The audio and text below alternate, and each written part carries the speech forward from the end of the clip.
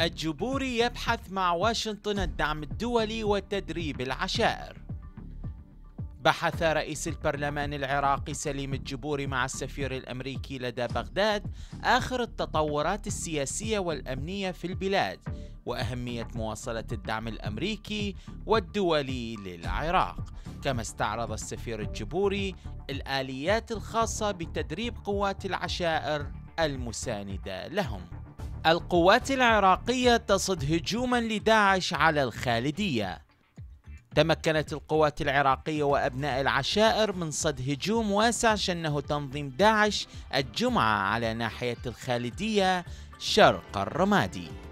موسكو تدعو المعارضة والأكراد إلى التوحد مع الجيش السوري في تحالف إقليمي ضد داعش.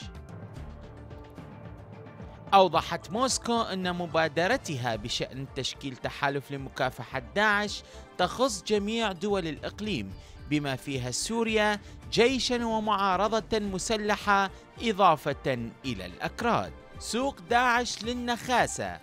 بيع سبايا في الفلوجة. قالت وزارة حقوق الإنسان العراقية إن تنظيم الدولة الإسلامية داعش قام ببيع مئة مختطفة سورية في مدينة الفلوجة العراقية التي أنشأ فيها التنظيم سوقا للنخاسة حسب الوزارة. القوات المصرية تعلن عن تصفية 70 مسلحا في الشيخ زويد ورفح.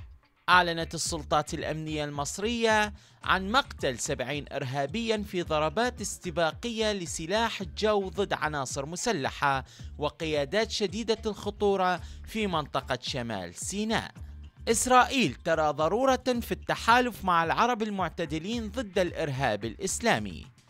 يرى رئيس الوزراء الإسرائيلي بنيامين نتنياهو الخطر الأكبر على دولته في تطوير البرنامج النووي الإيراني رغم تفاقم خطر داعش على حدودها الشمالية والجنوبية.